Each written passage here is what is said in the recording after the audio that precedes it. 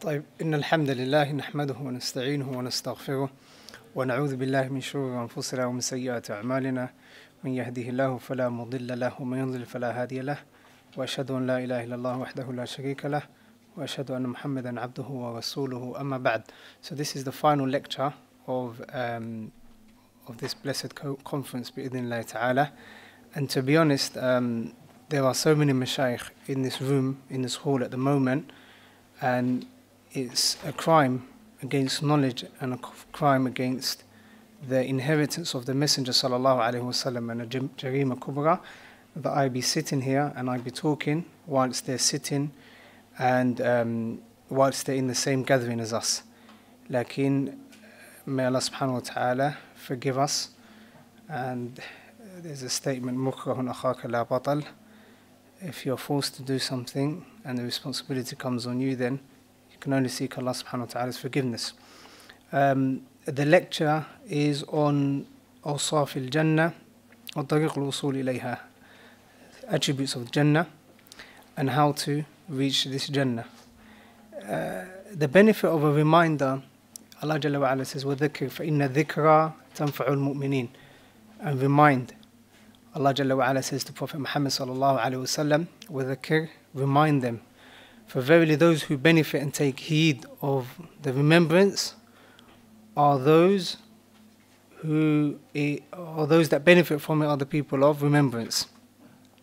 So, uh, the people of belief and iman. So the mu'minun, whenever they hear the remembrance of Allah Jalla wa ala, and whenever they hear the hadith of the Messenger sallallahu alayhi wasallam, they stand at these nusus and at these ayat and verses of the sunnah, uh, uh, hadith of the sunnah. In a hadith, the Messenger sallallahu alayhi wasallam was uh, admonishing the companions and he told them to stand where they were there was a companion who was outside the masjid from a distance and he stopped right there, which shows the virtues of the companions. When the Messenger told them to stand, he was outside and he stood exactly where he was standing. He could have walked in and he could have said, I want to see the message, I want to see the, what the Messenger ﷺ is saying. Lakin he stood exactly where the Messenger ﷺ was which shows that when we hear the remembrance of Allah and the hadith of the Messenger sallallahu alaihi wasallam, we have to be waqafin عند هذا الحد. We have to stop at that station. And when Allah Jalla wa ala was talking about in Surah Al-Asr, وَالْعَصْرِ الْإِنسَانِ لَفِي خُسْرٍ إلى آخر الآية, there are, Allah Jalla wa ala mentioned that everyone's in a state of loss. Except for people who have possessed four characteristics. إِلَّا الَّذِينَ آمَنوا, those who believe, وَعَمِلُوا الصَّالِحَاتِ وتواصوا بالحق وتواصوا بالصبر except for those who have iman and do righteous actions iman and righteous actions are together they can never depart and then those who encourage and remind one another of the truth this dunya that we're living in it's a dunya that is of imtihan it's a trial and tribulation everyone goes through different stages everyone's born and then you're a young person then you grow up, and so on. Like in throughout all of these marahil, all of these stages, it's a test. Allah Jalla wa ala says, الَّذِي خَلَقَ الْمَوْتَ وَالْحَيَاةَ لِيَبْلُوَكُمْ أَيُّكُمْ أَحْسَنُ عَمَلًا so Allah Jalla wa tells us that He created us, and He's the one that created life and death, and it is a trial and a test for us to see who does the best or who has the best actions who sincerely does it for the sake of Allah subhanahu wa ta'ala, these ibadat that he's doing, and who does it in accordance with the sunnah of the Messenger sallallahu alayhi wasallam. That's everyone. If we look into the guidance of the Anbiya, and they were prophets who Allah Jalla wa ala chose, when Allah was describing them in the Quran, إنهم كانوا يسارعون في الخيرات ويدعوننا رغبا ورهبا وكانوا لنا خاشعين. The Anbiya, the messengers of Allah, who Allah spoke to some of them, who Allah chose them from the people, Allah Jalla wa ala says, Verily they used to rush towards the good deeds.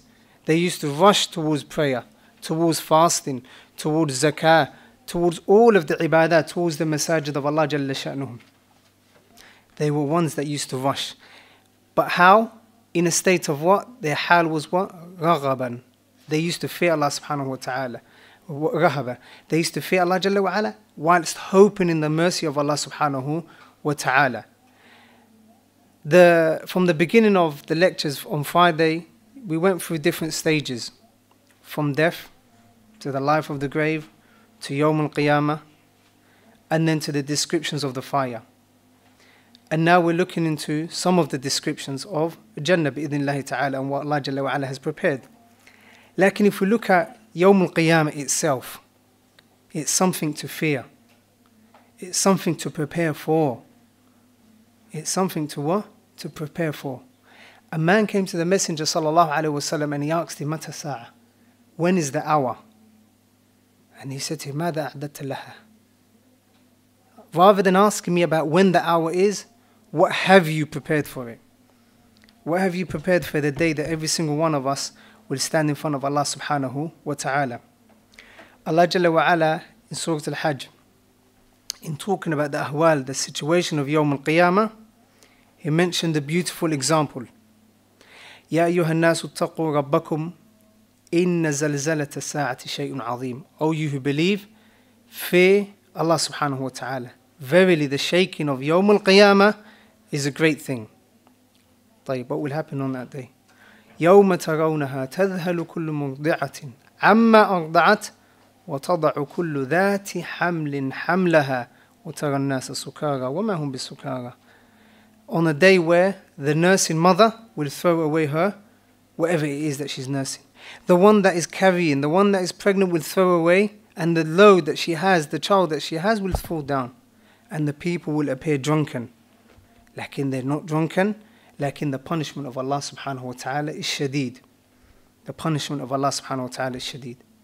After this, the people are of two. Fariqun fil Jannah or Fariqun fil Sa'ir. The people are of two. These things, they're from the i'tiqad, they're from the belief of a Muslim this is what makes us different from the kuffar the Muslim is the one that believes in Allah Jalla Sha'nuhu these are from the pillars of Iman in which a person's Iman will not be correct unless he believes in these situations, in these pillars and tenets of faith, of Iman. So a person cannot say, I've never seen Akhirah, I've never come back to it. If you dig the grave up, you won't see anything. Sahih, you may not see anything. Like in it's the belief that we have, and this belief is derived from the Quran and the Sunnah. If we look into Al Jannah and what Allah Jalla wa ala prepares for them, the believers, in reality, in the dunya there's a Jannah. In the dunya there's a Jannah. And whomsoever does not enter into the Jannah of the dunya, they shall be deprived of the Jannah of the hereafter. What is the Jannah of the dunya? The Jannah of the dunya is Al Imanu Billahi Jalla wa ala that you believe in Allah subhanahu wa ta'ala. That is the Jannah of this dunya. That's why if you look into the non believers, if you look into those people and even the usad that don't obey Allah Jalla wa ala, they're living in the wretched life. ومن أعرض عن ذكر فإن له معيشة ضنكا the one who turns away from the remembrance of Allah Jalla wa ala, the life they live in is a life of disaster if a person doesn't live in the Jannah of the dunya, there's no hope for him in the Jannah of the hereafter. And the Jannah of the dunya is that you believe in Allah subhanahu wa ta'ala and that you obey Allah Jalla wa ala and that you're an obedient servant to Allah subhanahu wa ta'ala. Then the na'im of Jannah in reality starts when a person is about to pass away. When a person is about to pass away, the angels will come to the Muslim, the believer. Allah Jalla wa ala says, إن الذين قالوا ربنا الله ثم استقاموا تتنزل عليهم الملائكة ألا تخافوا ولا تحزنوا وأبشروا بالجنة التي كنتم توعدون نحن أولياؤكم في الحياة الدنيا وفي الآخرة ولكم فيها ما تشتهي الأنفس ولكم فيها ما تدعون ولكم فيها ما تشتهي أنفسكم ولكم فيها ما تدعون نزلا من غفور رحيم when a person is dying and he's in his last breath, the angels will come to the believer. Who? إن الذين قالوا ربنا الله ثم استقاموا Amran, two things. الذين, those that say we believe in Allah Jalla wa ala. Lakin not a mere word that you utter. You believe in your tongue and you believe in your heart and your actions prove your belief. And that is the Iman, the belief of the people of the Sunnah. Whereby Iman is that you utter the word of Tawheed. And then you believe in it in your heart. And then you act according to it. So if a person is doing all sorts of ma'asi and they say al-iman, iman is here, then know there is something wrong with his iman. And also Iman, it increases and it decreases. Increases with the members of Allah and it decreases with disobedience of Allah and the obedience of shaitan. So ala kullin, the angels will come to those that believe in Allah subhanahu wa ta'ala, and then they are upright. That's the action. They are upright. What will they say to him? Allah takhafu wa la tahzanu. Do not fear for that which is about to come. Because when a person is about to die, he knows the haqq. There's nothing to it now. He can see everything that he was told about. He can see everything, Muslim, non Muslim. And that is the situation, that's the time when a person is most in need of reassurance. So these angels come to him, Allah takhafu, do not fear for that which is to come, wala tahzanu. And do not grieve for those that you have left behind. Do not grieve for the things that you have left behind. For verily Allah Jalla wa ala will look after them. So at that very point, that's when the reassurance and the na'im happens for this person. And what will they say to him, these angels? Allah wa abshiru bil jannah and have glad tidings of Jannah. May Allah Jalla wa ala make us of those that you were promised. The Jannah that you were promised, have glad tidings. Sure, if he hasn't entered into the Jannah, lakin it's a reassurance of what is to come is better than that which has preceded. نحن أولياؤكم في الحياة الدنيا وفي الآخرة. We were your friends and your protectors in the dunya, and we shall do so and continue being so in the akhirah. And then what? When you enter into Jannah, you shall have everything that you shall, your soul desires. Everything that you desire. نزلا من غفور رحيم and an entertainment from Allah subhanahu wa ta'ala. You're the host of Allah Jalla wa ala is your host on that day. And Allah Jalla wa ala is the most generous of hosts. That is when Jannah starts for the Muslim. Allah Jalla wa ala also mention in the Hadith al-Qudsi that Allah, uh, the Messenger sallallahu alaihi wasallam said that Allah Jalla wa ala says, أَعْدَدْتُ لِعِبَادِي الصَّالِحِينَ I have prepared for my righteous servants. Shuf, these ahadith and these verses are from the Quran. And everything that is found in the Quran is haqq, is truth. Allah Jalla wa ala says, I have prepared for my righteous servants. مَا لَا عَيْنٌ رَأَتْ وَلَا أُذُنٌ سَمِعَتْ I've prepared something that or things that no ear has heard of and no eye has heard of. so these names that you hear of all of the things that are in Jannah and they share the same names as those things that are in the dunya. Abdullah ibn Abbas radiallahu anhu mentions, radiallahu mentions that they are only similar in names. And that's not hard to understand. Because sometimes you can have, or we have, two people that are both called Salih or Muhammad, and they're very different. Just because they have the same name, does it mean that they are the same?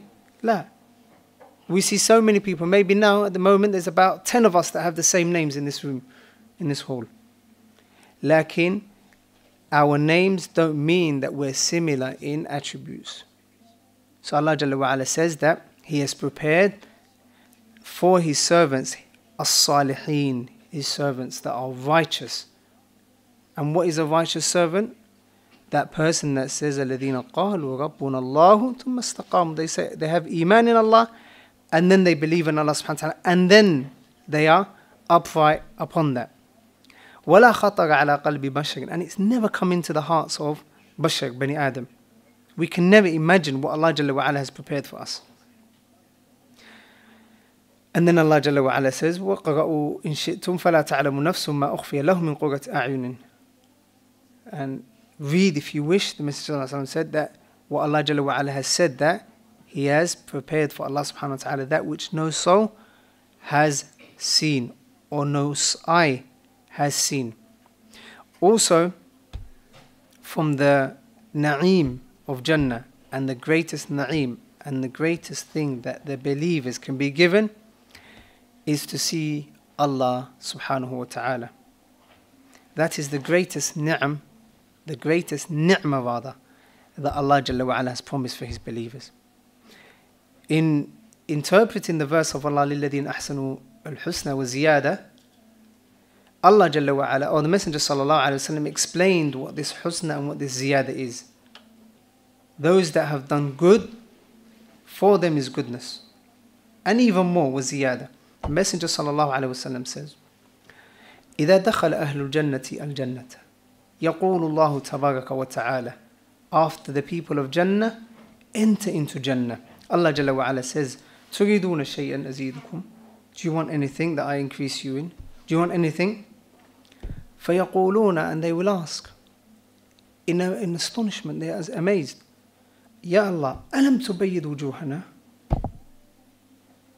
Have you not brightened our faces ألم تدخلنا الجنة ألم تدخلنا الجنة Have you not entered us into the Jannah We saw in the mahshar يوم القيامة when we were uh, amongst the non-Muslims and the Muslims and, and, and the Usat and so on we saw what happened. Can you saved us from that, saved us from that. Our faces, you've made us bright. You've saved us. You've entered us into Jannah. وَتُنَجِّينَ مِنَ النَّارِ And you have saved us from the fire. They think that that is the end all and be all. You can't get any better than that. Because don't forget, nafsi, nafsi, they were saying not long ago. And then Allah Jalla wa ala فَيَكْشِفُ الْحِجَابَ And Allah Jalla wa ala will remove the hijab from His beautiful face. فَمَا أُعْطُوا شَيْئًا أَحَبَّ إِلَيْهِمْ مِنَ النَّظَرِ إِلَىٰ رَبِّهِمْ And they have not been given anything more beautiful than looking into the face of their Lord subhanahu wa ta'ala. May Allah subhanahu wa ta'ala make us of them. Also from the na'im of Jannah, the Messenger sallallahu alaihi wasallam said in authentic hadith, إِذَا دَخَلَ أَهْلُ الْجَنَّةِ يُنَادِي مُنَادٍ if the people of Jannah go into Jannah, a caller will call. Again, this caller is giving glad tidings, he's giving bisharat to them. And he will say, Ya Ahl Jannah, inna lakum an tahyaw. فَلَا تَمُوتُوا أَبَدًا Verily you are going to be living and you will not fear death. That death that every single one of us fears. In the dunya, from the things that are qat'i that will happen is death. كل نفس ذائقة الموت. Every soul shall taste death. And every single one of us fears death. For different reasons. Like in every single individual fears death. لكن Allah Jalla wa ala, as the Messenger وسلم, says, will cause the believers to live and there will be no death after that.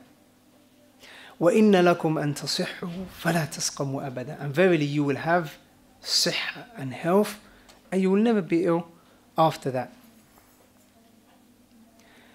And then Allah Jalla wa ala says, وَإِنَّ لَكُمْ أَن تَشِبُّوا فَلَا تَهْرَمُوا أَبَدًا And you will be young forever and you will not grow old.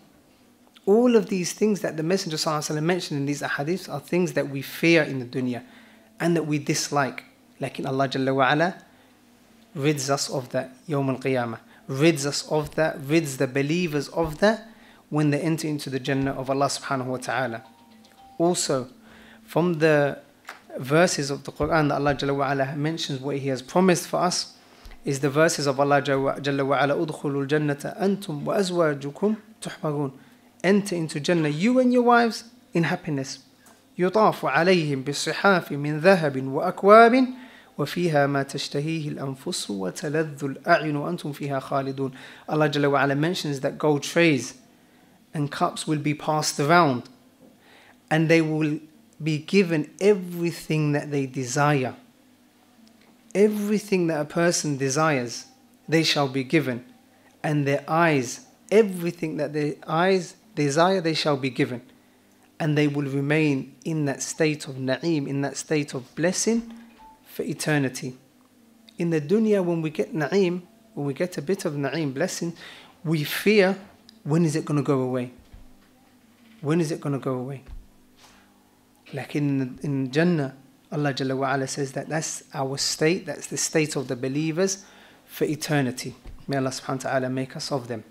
Allah Jalla wa'ala says, وَتِلْكَ الْجَنَّةُ الَّتِي أُورِثْتُمُوهَا بِمَا كُنْتُمْ تَعْمَلُونَ And this is the Jannah that you have inherited, bima, ba sababiyya, bima, because of that which you have done. So our actions are only a reason, like we're only entering, or the Muslims only enter into Jannah due to the mercy of Allah Jalla wa'ala and His uh, bounteous uh, blessings. Lakin, these actions that we do, these ibadat, they are a reason for us to enter into Jannah. That's why when the man came to the Messenger sallallahu alaihi wasallam asking him about the hour, the Messenger sallallahu alaihi wasallam said, "What have you prepared for it?" طيب. Even if I tell you, I tell you, what have you prepared for it? That's why some of the Salaf, because they were always in the worship and the obedience of Allah, it was said to them, or some of them would say that if I was to be told that I would die now, there's nothing I could possibly increase in my actions. Nothing I could increase. And that qawm, tajawuz wal qantaga, they're people that have gone. They're people that have reached a stage where they live with Allah. They live with the Messenger sallallahu alaihi wasallam and the ahadith of the Messenger and the verses of Allah Jalla wa ala. So ask yourself, if you were to die now, are you happy in the state that you are in? I believe 100% of us, every single one of us will say la. Then the aqil, the wise person, is the one that changes before the time ends. Before the time ends. Also Allah says, لَكُمْ فِيهَا فَاكِهَةٌ كَثِيرَةٌ مِنْهَا تَأْكُلُونَ There are many types of fruits. Many types of fruits that we do not even know, know of. قُطُوفُهَا دَانِيَةٌ That you can easily pick out. It's nearby. You don't need to struggle. You don't need to climb. It's near. Lakin, where are the men that are going to work for that? And where are the women that are going to work for that? The Jannah of Allah Jalla wa is ghali. We won't attain these things by sleeping all night. We won't attain these by not praying. We won't attain these by not fasting for Allah Jalla. We won't attain these except with mujahadatun nafs, with fighting our souls. We are in a constant battle. And the Muslim lives between two verses. وَمَا خَلَقْتُ الْجِنَّ وَالْإِنسَ إِلَّا لِيَعْبُدُونَ Allah Jalla wa ala mentions that He created the jinn and the ins for His worship.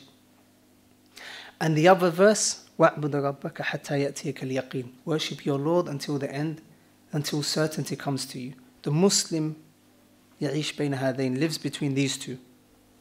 And anything in between is your life. And it's your account of deeds. Be it good or be it bad. It's for you to fill it up.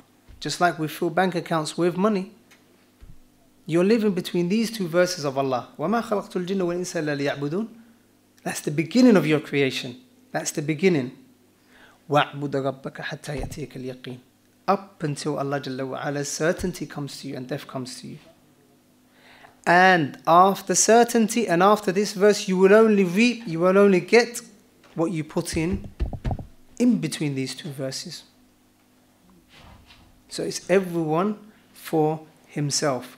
Allah Jalla wa ala, and I'll round it off with this. Jalla wa ala says, إِنَّ الْمُتَّقِينَ فِي مَقَامٍ أَمِينٍ Verily, the Muslims, the believers are in a state of security. When their brothers in mankind have gone into the pits of the fire, they are in a place of security. في جنات وعيون in gardens in which springs pour forth. يلبسون من سندس وإستبرق متقابلين They are wearing silk, thick and thin, and they are facing one another, happy, rejoicing of the blessings that Allah Jalla wa ala has given them. كذلك وزوجناهم بحور عين and Allah Jalla wa ala will give them fair, beautiful, beautiful eyed women, and likewise for the for the women, and they will ask for whatever they desire. على كل حال this is like 2% of what Allah Jalla wa ala and the Messenger have described for Jannah in the Quran and the Sunnah. لكن you have to remember that Allah وعد الله لا يخلف الله وعده that is the promise of Allah Allah will not forsake his promise everything that Allah tells us is the haqq that is promised لكن the responsibility comes back to us the responsibility now comes back to us don't worry about what Allah Jalla wa ala has prepared because you know Allah Jalla wa ala will not forsake you. It's impossible for Allah to tell you that He has prepared something for you and the messenger to tell you that Allah Jalla wa ala has prepared for you وهو صادق مصدوق and then for Allah to say la it was just something to get you to worship your Lord. La, أبداً. It's qat'i, it's a promise by Allah Jalla wa'ala. Lakin, how can we be of those people? If you ever go into a deal with someone, and the best example is for Allah Jalla. If you ever go into a deal with someone, there are two parties. You have a business transaction with someone. There's you on one side and the other taraf, the other side is another side. There's always ihtimal, there's always a possibility that you will trick him or he will trick you or he will leave the agreement or you will leave the agreement. There's even khiyar majlis, there's even you're able to end, and there's fasakh, and you can actually end that contract. So you won't actually be happy until you've got your item and until the other person has got his, whatever it was that he exchanged. That's when we're dealing with ourselves. Like, and who are we dealing with here? We're dealing with Allah Jalla Sha'nu. We're dealing with Allah subhanahu wa ta'ala. So don't worry about the promise of Allah subhanahu wa ta'ala. It's true, it's haqq, it's waiting for you. The only point is, are you going to go out and get it? Are you going to go out of your way to work for it? And the way to do it is by worshipping Allah subhanahu wa ta'ala. We'll end off with a few points, about five or six points too, at uh, practical points, practical pieces of advice for us to attain the mercy of Allah Jalla wa ala. Number one, al-qiyamu bi tawheed Allah subhanahu wa ta'ala. Number one, establishing the tawheed of Allah subhanahu wa ta'ala. The had, the fasil, the difference between the mu'min and the not mu'min, the believer and the non-believer, is the tawheed of Allah subhanahu wa ta'ala. When we hear Abu Bakr done this and Abu Bakr paid sadaqah and fasted and visited the ill person and done this all in 24 hours, we're shocked. We're surprised. Like we shouldn't be. Why? Because this is what was happening. The iman and the tawheed that he had in his heart was greater than everything. Have the tawheed of Allah connected to your life. And the Tawheed of Allah subhanahu wa ta'ala is not just something that we say, Arafna Tawheed, we know Tawheed, let's move on. La. I'll give you a simple example which shows that we still need the Tawheed of Allah in every aspect of our lives. Whenever we get a headache, we look, where's the paracetamol, where's the aspirin? That's the first thing we do. Why do we not run to the Kitab of Allah? Why do we not read Quran, do ruqyah on ourselves? That's just a simple example. These are a means, صح. لكن rush to the remembrance of Allah subhanahu wa ta'ala. Worship Allah subhanahu wa ta'ala. When you're making dua, use, use the beautiful names and attributes of Allah subhanahu wa ta'ala. When you're standing, know that you're standing for Allah and you're standing to Allah subhanahu wa ta'ala. Also, connect yourself to Allah subhanahu wa ta'ala. Connect yourself to Allah subhanahu wa ta'ala.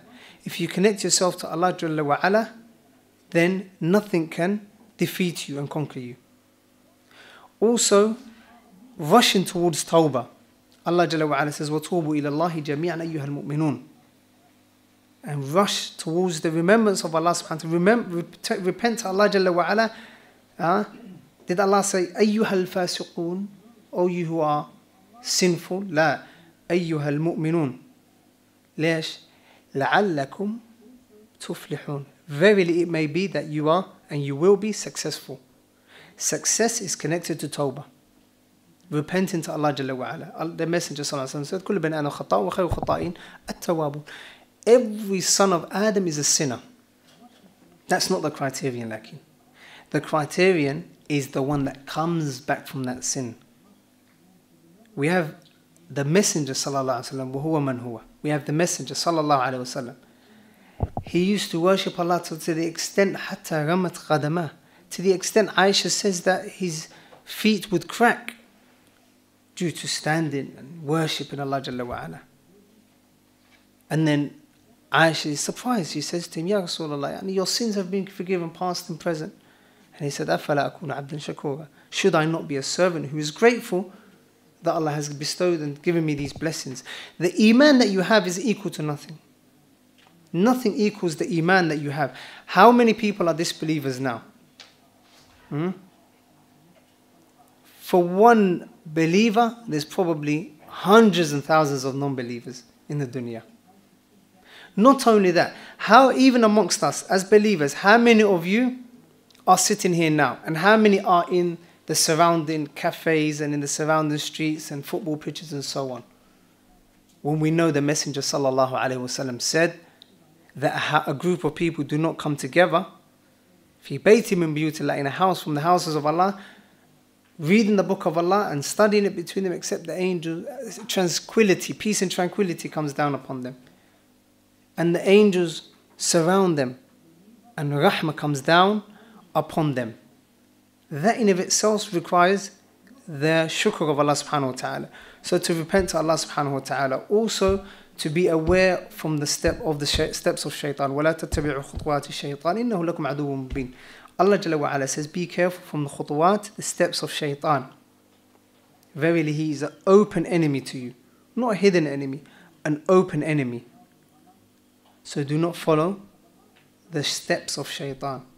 Do not follow shaitan. Allah did not say do not follow shaitan. That's badahi, that's common sense. Like you do not follow his steps. And one step can lead you to a thousand regrets. Also, the last note, the last point is to leave off tasweef and ta'jeed. Leave off putting back. I will repent tomorrow. I will repent tomorrow. Allah Jalla wa'ala says, وَسَارِعُوا إِلَى مَغْفِرَةٍ مِنْ رَبِّكُمْ وَجَنَّةٍ عَرْضُهَا السَّمَاوَاتُ وَالْأَرْضُ أُعِدَّتْ لِلْمُتَّقِينَ Rush, وَسَارِعُوا, that's fi'l amr, it's a command from Allah. Rush towards the forgiveness of Allah Jalla wa'ala. And rush towards the Jannah that Allah subhanahu wa ta'ala has prepared for the believers. How can you rush towards Jannah? You can't see Jannah. If you want to sprint, you can't see Jannah. Like in the sprinting towards Jannah is be righteous deeds. That's how you sprint towards the Jannah of Allah subhanahu wa ta'ala. Do not think I'm going to worship Allah, especially for you youngsters. Do not think, Allah, yeah, you only live once. I'm a shabab. I'm a young person. I'm going to do everything. And then when I'm older, you know, I go to the masjid. That, that masjid may not come. Go to the graveyard now. Look at the ages 10, 5, 20, 22, 23. 19, 18, car crash, heart attack, cancer. Huh? For those that are young, how many, your age is not promised. The next hour is not promised. The next minute is not promised. You can be 10 years old, go out today, get run over by a car. And if you die, that's your qiyamah. That's when qiyamah starts for you. That's when Yawm al-Qiyamah starts for you. So be aware and make sure do not be ghafilin, do not be heedless people. Be alert, be awake, and know that you're worshipping Allah subhanahu wa ta'ala. You're abd, nothing more, nothing less. You're only a servant of Allah subhanahu wa ta'ala. Everything else is secondary. Getting married, studying, education, uni, college, school, wherever it may be, secondary. No one's ever been put into the fire, and no one will be put into the fire for not studying. No one will be put into the fire for not getting married. No one will be put into the fire for faqr, for poverty. The only thing that a person will and can be put into the fire for is not worshipping Allah subhanahu wa ta'ala. And for the youngsters, remember the hadith of the Messenger sallallahu alaihi wasallam. The shade of Allah subhanahu wa ta'ala on a day when the sun is at the heads of the people. At the heads of the people and only seven types of characteristics, seven types of people will be under the shade of Allah subhanahu wa ta'ala. From amongst them is a young man who had and who grew up in the remembrance of Allah, in the religion of Allah subhanahu wa ta'ala. A young man from a young age carrying on worshipping Allah subhanahu wa ta'ala, not being distracted by all of the desires and all of the things that distract everyone, not only the shabab. So this is a ni'mah. Now that you've heard this hadith, it's a hujjah, it's a proof against you. When you're when we're looking for jobs or when a person wants to get rich, they increase the sources of avenue. So he'll work part time, then he'll work full time, and he'll do an investment so he gets money from this, and he might teach on the, on the side and so on. So he knows that there's about three or four different sides where he's getting money from. Make that your way to Jannah. Jannah is your target. You're having 10 different ways of coming to Jannah. There are eight doors of Jannah. Why? So that you can enter into all of them. There are eight ways you can go into Jannah. There are actually hundreds of ways you can go into Jannah. So, for example, for the youngsters, make that your target. If I don't get into Jannah because of my Hajj, if I don't get into Jannah because of my Salah, at the very least, let me get into the Jannah because of my obedience to Allah subhanahu wa ta'ala from a young age to an old age. And that automatically has the Hajj that you didn't have, has the Salah that you didn't have. And especially more so these days, this day and age, especially more for the youngsters, it's important that you hold on to your religion. It's not a joke. You're being told that there's equality. You're being told you're not even men and you're not women and you're not humans. You don't know what you are. This bottle can come and say, I identify as a human being. And we have to accept that that's a human being. And what happens in school, you're being taught religious, taught religious studies, RE. And they'll say, yeah, Christianity is good, Buddhism is good, Sikhism is good, uh, Islam is good, and everything. And then you come down watered, watered down, damp, because when you're going to school and you're hearing that Islam is okay and Christianity is okay, we're all brothers and all of that, la. Absolute nonsense. It's not the same. أَفَنَجَعَلُ الْمُسْلِمِينَ كَالْمُجْرِمِينَ Are those who believe in Allah subhanahu wa ta'ala, the Muslims that obey Allah Jalla wa ala, equal to the criminals? The person that wakes up for Fajr when everyone is asleep, is he equal to the one that doesn't wake up? the one that leaves off all of his desires for the sake of Allah Jalla wa ala, is he the same as the one who says, Khali wali, leave it, it doesn't matter? La, they're not equal. So especially more so, you shabab, you youngsters, need to hold on to your religion. Need to hold on to your tawheed. And the only way you can do is seeking knowledge and learning. And alhamdulillah, in this masjid, the environment is ready for you. The environment is prepared for, for you. Read the Quran of Allah. Memorize the Quran of Allah subhanahu wa ta'ala the more you read, the higher your rank is in Jannah. The more of the Quran that you read, the higher your rank is. There are lessons in this masjid, in different languages, in different sciences, fiqh, aqidah, and so on. Take advantage of that. Stay in the masjid. Your world is in this masjid, in these four corners. That's where your world is. That's where your success is. And everything out there that's disaster. No one has ever been happy with gang culture. You either end up six feet deep or you end up stuck between four walls for the rest of your life. And keep the watch of the company you keep. The good company you keep is like a perfume seller. And the bad company that you keep is like the blacksmith. Are they equal? La. If you go into a black, go into a perfume shop, you're gonna buy one, gonna buy a perfume, or you're gonna at least test it. There's testers. You can just, even if you're not buying it, you can just test it. In any case, you leave that store and you've, you've gained something. You've benefited. Like when you go to the blacksmith, your clothes will be ripped. You end up smelling nasty to the extent that you've got to find somewhere to wash. And your clothes may be may uh, need replacing. So know that the bad friend will take you down six feet deep, and the good friend will take you to Allah subhanahu wa ta'ala. and take you to the remembrance of Allah subhanahu wa ta'ala. Huh? Abdullah ibn Abbas, who many of you know, you might not even know his first name, you know Ibn Abbas. He had a young man who they were friends with. He was friends with. And he said, Yeah, let's go seek knowledge, man. Let's go, you know, seek knowledge. Young man said his friend said to him, What are you talking about? Abu Bakr there, Umar there, Uthman, Ali. The companion said, Who needs you? Hmm? Who needs you? And then Abdullah ibn Abbas left him. Abdullah ibn Abbas left him and he carried on seeking knowledge. He sought knowledge until he became an imam. And then one day he saw Abdullah ibn Abbas doing tawaf and hundreds of people running after him. Why? Because they need him. We've done Hajj, we've made this, and we need fidya, and so on. They need to ask Abdullah ibn Abbas. And he saw him from a distance. He said, Kana aqal minni. That shab, that young man, he was wiser than me. So do not think about temporary gain. Yes, your friends may buy a beautiful car with drugs money. Hmm? Yes, they may have status on Instagram and TikTok and all of these sorts of nonsense. They might have hundreds and thousands of followers. Like in these followers, in reality, don't avail you. They don't benefit you. It's you and what you put forward. Make sure that you carry on studying your secular studies and your Islamic studies. There's nothing preventing you from secular studies. We need doctors in the ummah. We need engineers in the ummah. We need people that can lift up the ummah. You're the future leaders. You're the hope of this ummah.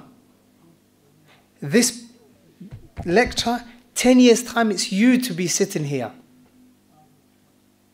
The salah that we're praying, it's going to be upon you to lead the salah. The people organizing the conference, it's going to be on your shoulders to organize the conference generation after generation. So don't only think about yourself, think about the ummah. Think about the ummah. Wallahu ta'ala a'lam wa ahkamu billahi tawfiq wa sallallahu wasallam ala nabina Muhammadin wa ala alihi wa sahbihi ajma'in.